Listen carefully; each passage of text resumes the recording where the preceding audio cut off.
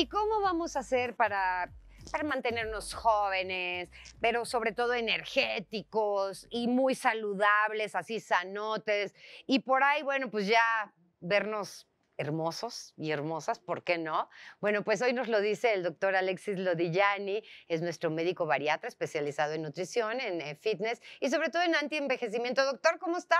Muy bien, un placer estar aquí de vuelta. Ya había estado hace dos semanas, pero sin ti ya te extrañaba. Ah, igualmente. Es un gusto estar aquí contigo. Igualmente. Oye, doctor, a ver, hay algo que escuchamos mucho y que son eh, los famosos anti, ¿qué? Anti, antioxidantes. Antioxidantes. Y que si el jugo de no sé qué es antioxidante y que eso es buenísimo, pero en realidad, ¿qué son y para qué sirven? Ok, eh, primero tenemos que empezar así más o menos a definir qué es antienvejecimiento, que no lo voy a hacer completo aquí porque es poco tiempo, pero básicamente es eh, pues una nueva ciencia en la que estudias por qué envejece la gente y qué puedes hacer para retroceder esos cambios. Se hizo un estudio como hace 45 años que eh, detectaron las blue zones, zonas azules, que es donde vivía o vive la gente más longeva, que están en, conjunto, y es Okinawa, Japón, Sardinia, Italia, Nicoya, Costa Rica y Loma Linda, California. Hacen un estudio y preguntan y empiezan a analizar los hábitos de estas personas y uno que les vota mucho es que llevan dietas hipocalóricas, es decir, con pocas calorías. Hipo es abajo, calorías, calorías. Y esto les llama mucho la atención y se ponen a investigar y pues lo que hacen es siempre pues, sobre una rata, le das a una mucho de comer y otra poco de comer y siempre la que come más se muere antes. Y pues bueno, lo vas haciendo con especies más grandes y te vas dando cuenta que, que se comporta, ¿no? Y empiezan a investigar y se empiezan a dar cuenta que lo que sucede y lo que nos envejece, bueno, una de las cosas que nos envejece, que sería en lo personal, digamos que mi primera barrera de antienvejecimiento, es los radicales libres que liberas. ¿sí? Todos estamos constantemente liberando radicales libres porque estamos transformando moléculas de glucosa en energía. Y lo que sucede en ese momento es que liberas un radical libre. Un radical libre no es más que un átomo. Si recuerdan, un átomo tenía el núcleo donde tienes los protones y los neutrones y alrededor tienes electrones. Y generalmente están estables. Cuando pierde un electrón, pues se necesita aparear y juntarse con otro átomo para formar una molécula o que le presten un electrón para estabilizarlo. En el momento en el que pierde ese electrón, pierde estabilidad y empieza a volar por todas partes buscando estabilizarse. Lo que sucede es que cuando nosotros transformamos glucosa en energía dentro de la mitocondria, tenemos la célula que está rodada por una membrana, tenemos el núcleo, donde tenemos toda nuestra información genética y tenemos el motor de la célula que se llama mitocondria. Aquí es donde se lleva a cabo esta reacción. Es el ciclo de Krebs, donde transformamos adenosintrifosfato en adenosindifosfato, que no importa mucho que sepan qué es y para qué es, pero si el tri al di te está diciendo que pasaste de tres fosfatos a dos. Entonces tuviste que liberar una molécula. Oye, es eso que estás diciendo de los radicales libres que salen volando, eh, ¿cuántos salen volando? O sea, ¿Salen volando dentro de nuestro cuerpo? Claro, en cada una de nuestras células, y salen millones. O sea, el tú darle una fumada son miles de millones de radicales libres que estás metiendo a tu cuerpo. La radiación del sol son radicales libres que están pegando sobre tu cuerpo. La contaminación tiene radicales libres, pero nosotros per se, simplemente por el estar comiendo y tener nuestro metabolismo para movernos, estamos liberando estos radicales libres. Entonces, si tú lo analizas, si tienes una célula y tienes el DNA en el, en el núcleo, pues al tú liberar estos radicales libres son como, digamos que balitas, como municiones que salen volando. Y literal salen de nuestro cuerpo. O sea, están radiando constantemente. Entonces, todo lo que esté en su camino lo van a perforar. Y ese es el problema, que empiezas a dañar todas las células de alrededor, empiezas a dañar la membrana celular y empiezas a, a dañar el DNA. Ok, eso sucede siempre que comemos, siempre que tomamos algo siempre que tomamos algo, siempre que comemos, siempre que hacemos ejercicio, siempre que transformamos una caloría en energía, vamos a liberar radicales libres. Ok. Ok. okay. Entonces la naturaleza es muy sabia y estamos en este planeta eh, y nos hemos ido acoplando porque hay diferentes alimentos y hay una gama de alimentos que tienen antioxidantes, que lo que van a hacer es capturar estos radicales libres para evitar que dañen la membrana celular, que dañen el DNA. El problema real es que si tú dañas el DNA, ¿te acuerdas que es una espiral y tiene ahí unos enlaces? Si tú botas esos enlaces, ya la cadena de DNA queda dañada y muta. Ya no es la misma información genética. Y la siguiente célula sale chueca, Sale ahí, chueca, digamos. dañada. No sale dañada, pero no sale igual. Entonces, al tú Mm. tener muchas réplicas, entonces cada vez te alejas más a la información genética original que tenías y por eso vamos envejeciendo. Órale. Por eso el proceso es, es, no es lineal. Lineal es que fuera así, logarítmico es que de repente se va hacia arriba. Entonces, cuando llegas más o menos a los 65 años, se va para arriba y envejeces mucho más rápido, 125 veces más rápido que, que un niño de 12. Ok, entonces, a ver, lo que, lo que nos quieres decir es que si nosotros comemos lo que tendríamos que estar comiendo, ¿podríamos evitar estos radicales libres? Exactamente. No los podemos evitar, pero los podemos, digamos que, neutralizar. Ok. Entonces, la, la manera en la que yo veo la nutrición, y a, a mucha gente le, le parece extraño y no, no veo por qué, pero, o sea, es básicamente lo que yo meto a mi cuerpo tiene que servir para algo. Claro. O sea, no, más allá de que si es, es dañino, tiene que servir para algo. Entonces, si yo me estoy comiendo una caloría vacía, o sea, un pan bimbo, una Coca-Cola, este, alcohol, co- cosas que me dañen, lo tengo que registrar en mi mente, tengo que ser honesto, ¿no? Y eso sé que no me va a ayudar en nada, simplemente me va a hiperoxidar. Ok, pero hay forma en la que dices, bueno, me porté mal, estuve tomando todas estas cosas y comiendo estas cosas que no debía. Ahora lo voy a compensar con esto otro. Podríamos hacerlo, pero lo ideal es que toda la comida, y se requiere de disciplina, y se requiere de persistencia, y se requiere de ser conscientes, es que lo que metamos en nuestro cuerpo, una, nos nutra, y dos, tenga antioxidantes. Y casi todo en la naturaleza tiene antioxidantes. Este, la- los vegetales, a diferencia de los animales, van a tener como 64 veces más antioxidantes. Entonces, así, para que les quede clarísimo, básicamente un antioxidante lo que va a hacer es capturar un radical libre para evitar que haya daño, tanto en información genética como en las membranas celulares. El problema de que se dañen las membranas celulares es que se vuelven rígidas. Hay un proceso de cicatrizal que va cicatrizando y se va haciendo rígida la membrana. Entonces, todo eso de la célula se vuelve rígido y entonces cuando se pliega, por ejemplo, en la piel, te salen arrugas porque ya no está tan flexible entonces se marca la arruga. O por ejemplo en el ojo, el ojo se empieza igual a cicatrizar y entonces ya no enfoca tan bien porque ya no es tan flexible el lente ocular y entonces ok. por eso con la edad vas perdiendo la vista. Ahora, Las articulaciones pasa Ah. lo mismo, ¿sí? Sí. Entonces, ¿por qué nos queremos proteger? No nada más para vernos bonitos, que está increíble vernos bonitos y verte bonita, pero funcionalmente nos conviene estar bien y Hombre, estar claro. protegidos. totalmente. Entonces, ¿qué alimentos comemos? Claro, Esa es la pregunta, ¿no? ¿Qué voy a hacer ahora que ya el doctor me dijo que tengo que comer cosas sanas? ¿Cuáles son? Pues hay muchos alimentos que básicamente un antioxidante van a ser vitaminas, hay minerales, hay flavonoides, hay carotenos, hay resveratrol. Esto nos va a proteger, ¿ok? ¿Y de dónde sacamos esto? Yo diría que la fuente principal sería los vegetales porque los podemos comer en abundancia. Pero hay una escala que se llama escala OROC, que la pueden buscar en internet, así poner Google y va a aparecer y van a aparecer todos los alimentos con su capacidad antioxidante. ok. Y lo que más eh, antioxidantes tiene son las especias. Eso es lo increíble. Por ejemplo, el chile que consumimos muchísimo en México tiene, tiene muchísimos antioxidantes. La pimienta tiene muchísimos antioxidantes. Lo que más tiene es el clavo. Hoy justo en Instagram subí ahí una foto de, de moliendo el clavo y me preguntan, ¿pero qué? ¿Me lo unto? Por eso te digo que las preguntas son muy raras. Sí, Pues no, no, pero pues generalmente sí, sí. el clavo lo utilizas como especia para condimentar, ¿no? Claro. Lo que pasa es que el sabor es muy fuerte. Es muy fuerte. Entonces le pones una pizca a tu café.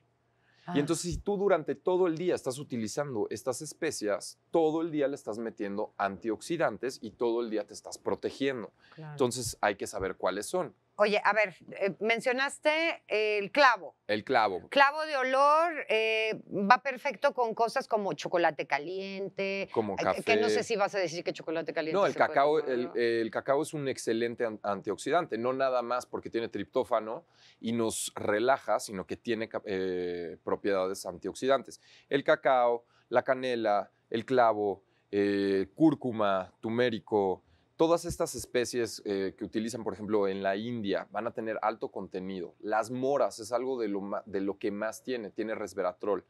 todas las verduras y todas las frutas que veamos que tienen estos colores rojo brillante, morados oscuros, O sea, moras. moras. Eh, eh, eh, fresas. eh, Las fresas van a tener. Pero entonces fresas, cerezas, frambuesas, zarzamoras, Exacto. mora azul. Exacto. Y por eso dicen las uvas, por eso dicen que el vino es un antioxidante, porque sí lo es, porque de la cáscara de la, de la uva sale el resveratrol. Sí. Entonces, si tú tomas vino, sí va a ser un antioxidante. Ahora tienes que ponderar la cantidad de azúcar que tiene y el alcohol que tiene, porque pues, te podrías comer nada más las uvas, ¿no?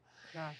Ok, hay muchísimos alimentos. Todas las hojas verdes van a tener muchísimos antioxidantes. Entonces, antioxidantes eh, como espinaca, como kale, como alcachofa, todo lo que sean hojas, ¿ok? Entonces, eso lo queremos meter a nuestra dieta. Eso nos va a ayudar muchísimo. Ok, entonces sería, no importa qué coma, pero además le voy a agregar este, hojas verdes más las moras, Claro, pero por si, ejemplo. si empezamos a balancear nuestros alimentos y empezamos a, a diseñar una dieta que la podemos diseñar nosotros, incluimos eso, ¿no? En tu desayuno, y unas frutas, pues sí, y unas moras y unas nueces. Las nueces también tienen alto contenido de antioxidantes. Ujú.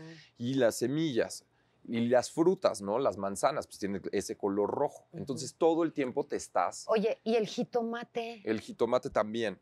Ahora, esto es una manera y la otra manera es suplementándote, Ajá. metiéndote directamente vitaminas como vitamina C, vitamina E, vitamina B, Ok, en- A, entonces coenzima Q10. déjanos hacer una, una Una pausa, pausa. y regresamos y nos dices en qué momento podemos tomarnos eh, eh, estas vitaminas, ¿no?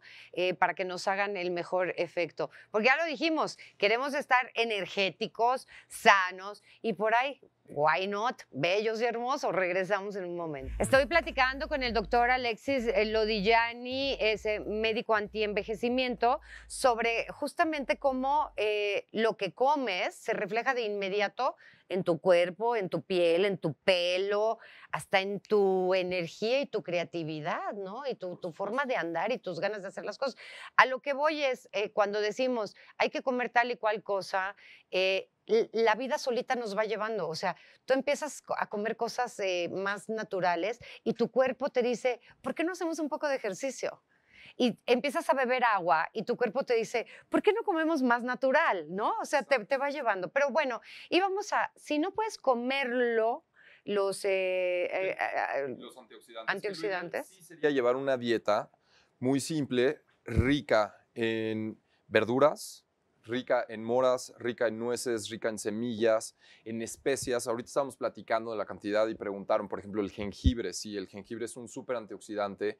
Eh, no nada más eso, sino que aumenta las defensas del cuerpo, cuida el tracto digestivo. El orégano también, le estaba diciendo que tiene ahí más o menos 200 mil en la escala de Orok. Entonces hay muchos, muchas especies, muchos alimentos, los cuales literal podemos vivir, ¿no? Y, y creo que es como un amor propio el realmente pensarlo y decir, ok, me voy a comer estas papitas, si sé que me voy a sentir mal, me van a engordar, no me van a ayudar en nada, o aguanto la tentación por amor propio, por este, disciplina y como algo más sano porque sé que me voy a sentir mejor, no nada más en el momento, sino en el futuro. claro, Porque- totalmente de acuerdo. Parece que no, no tenemos la capacidad de ver a 20 años, 25 años. Y es muy común, ¿no? O sea, lo escuchas y lo escuchas con la gente y lo escuchas con los pacientes que de repente caen en un hospital y dicen, es que esto es un robo.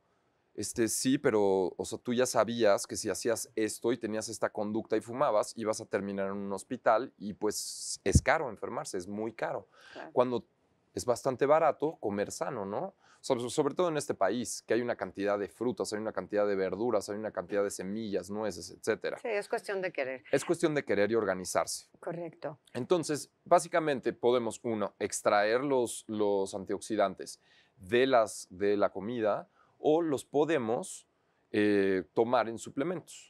¿Cuáles? Eh, podemos tomar, hay muchos, hay mucha cantidad de ellos, hay que tener un protocolo porque no te los vas a retacar todos, pero les menciono algunos, como la vitamina C, la vitamina E, la vitamina A, la vitamina B, el de minerales, el selenio, el zinc, funcionan muy bien como antioxidantes, resveratrol, coenzima Q10, todos estos van a ser antioxidantes que podemos ¿Eso se debe de tomar de día o de noche? de día. ¿Por qué? Porque tu proceso en el que vas a liberar radicales libres va a ser durante todo el día. Entonces lo metes para que te vaya protegiendo.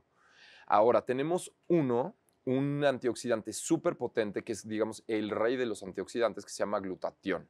Y el glutatión lo produce el cuerpo. Y creo que no hay muchos doctores que sepan de este, pues, de este antioxidante, pero lo tenemos y lo producimos porque pues, cuando nos intoxicábamos, este, este molécula nos ayuda a desintoxicarnos, nos ayuda a sacar metales pesados como plomo, nos ayuda a sacar metales pesados como mercurio en general. Entonces esto lo estamos produciendo nosotros y los estudios se han dado cuenta que la gente que tiene poco glutatión tiende a enfermarse más, tiene enfermedades crónicas degenerativas mucho más, enfermedades eh, inflamatorias, Alzheimer's, Parkinson, ¿sí?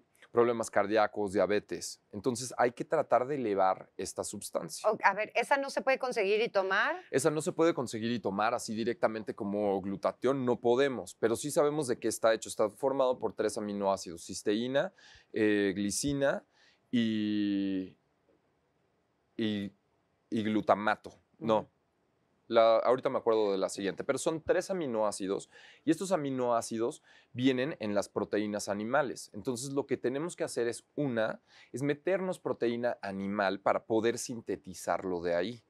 Ahora, aparte de, estas, de estos tres aminoácidos que conforman esta molécula que se llama glutatión, tiene azufre. Y el azufre es un, es un elemento que es pegostioso, y que huele y que huele mal, huele muy fuerte, ¿no? Huele a huevo podrido. ajá. ajá, a huevo podrido. Entonces, hay ciertos alimentos que tienen alta cantidad de azufre y si nosotros le estamos metiendo azufre al cuerpo, va a ser mucho, mucho más sencillo que el cuerpo pueda sintetizar el glutatión, es decir, que pueda formar el glutatión. Muy interesante. El otro día compré una sal em, eh, gris, era como una combinación de sal gris con sal negra y olía mucho a azufre, o sea que seguramente tiene un gran contenido de, de azufre. De azufre. Pues vamos a comprarla. Entonces, ¿qué va a hacer el azufre? Básicamente va a pegar todas estas moléculas, estas toxinas, estos metales pesados, los va a pegar y cuando vas al baño lo desechas por ahí. Entonces hay que meter gran cantidad de azufre. ¿Y qué tiene azufre? ¿Qué huele, qué huele fuerte, como lo acabas de decir? El brócoli, las coles de Bruselas, la coliflor, el kale, Todas estas verduras nos van a ayudar a meter azufre para que nosotros podamos hacer este compuesto. Y este compuesto, una, nos va a ayudar a evitar envejecer y dos, nos va a ayudar a no enfermarnos. O sea, nos va a proteger contra el cáncer, nos va a proteger contra diabetes, contra infartos, contra enfermedad coronaria, Alzheimer's. Eh, han visto que los niños autistas mejoran muchísimo. Entonces hay que tratar de meter estas sustancias y las podemos meter a través de un licuado de proteínas o proteína de muy buena calidad y metiéndole eh, alimentos con alta cantidad de azufre. Claro, Alexis, pues yo como veo las cosas y no que se amaga, ¿verdad? Pero pues a final de cuentas esto es una realidad que se, se está empezando a vivir seriamente, es vamos a vivir más años de lo que vivieron nuestros abuelos, nuestros bisabuelos y probablemente nuestros padres. Eh, ¿Cómo vamos a vivir esos años? ¿no? O sea, los vamos a vivir en alegría, con energía, que nos podamos levantar solitos, ¿no? que podamos ir a la tienda solitos, que podamos salir a jugar con los nietos, o vamos a estar postrados en una cama o en un sillón. Es que parece ser que eso es la cultura. Por cierto, es glutamina, el, el tercer aminoácido. Eh, Parece que esa es como la tendencia, ¿no? Nos ponemos a trabajar, llegamos a los 55, 60 años y como que ya termina nuestra vida ahí en ese momento y ya eres como un viejito y sales de la sociedad y, no, y, pues hay que estar activo siempre. Hay que estar activo, si no nada más tener que ir a la tienda solito, sino poder hacer todo y absolutamente todo, ¿no? O sea, hay gente muy sana de 80 años, de 90 años. Obviamente no te vas a poner a a correr 100 metros planos. Bueno, si quieres sí, pero, claro. pero la onda es envejecer pero bien. a ver, yo no sé si a ti te ha pasado tener algún tipo de lesión, de lesión, Alexis, pero por ejemplo, Paco hace como un mes traía el dolor de la asiática, un yo año, traía ¿no? el de la rodilla también. el problema de la rodilla y entonces cuando, cuando estás así, te das cuenta de, de, ay, caray, es que necesito agarrar eso que está abajo del sillón y no me puedo tirar a agarrarlo. Y entonces ahí piensas, uy, y esto es ahorita, ¿qué va a pasar después si no me cuido? ¿no? Sí, y la verdad es que no te das cuenta hasta que de repente te lesionas, ¿no? Siempre que me lesiono es así, pues el dolor pues duele, pero después dices, puta, ¿y ahora qué? Ahora me voy a tener que recuperar dos semanas, tres semanas, haciéndole. Ahora imagínate que fuese crónico. Ahora, eh, también algo que se nos está olvidando muchísimo es que todo lo que comemos en nuestro día a día está procesado tiene más pesticidas, tiene un montón de cosas que si no ayudamos a nuestro cuerpo con suplementos, con probióticos, con cosas que puedan escudar pues no vamos a tener una vejez saludable. Exacto. O sea, básicamente eso es lo que estábamos platicando. O sea, uno, tienes que tomar la decisión de dejarte de meter basura al cuerpo, porque es basura, no te va a ayudar para nada. O sea, te programaron el cerebro en cierto momento a través de comerciales, a través de revistas, de tus amigos, lo que sea, que eso sabe rico, pero en realidad no sabe rico. Porque después de que lo dejas de comer, te invito a que lo hagas, dejas de comer un rato y luego lo comes y este sabor ni siquiera está bien. Entonces, paso número uno sería dejar las cosas que nos están intoxicando. Paso número dos fuerte, nos sería meter cosas que nos ayuden a desintoxicarnos y que nos protejan y que nos nutran. Bueno, te seguimos en, en YouTube, ¿no? En YouTube, en ProHábito TV, ahí hay dos programas de antioxidantes que subí, donde se enlista todo y es mucho más claro y más específico. Y en mi Instagram también como ProHábito. Gracias, doctor Lodigiani. Gracias a ustedes, un placer estar aquí.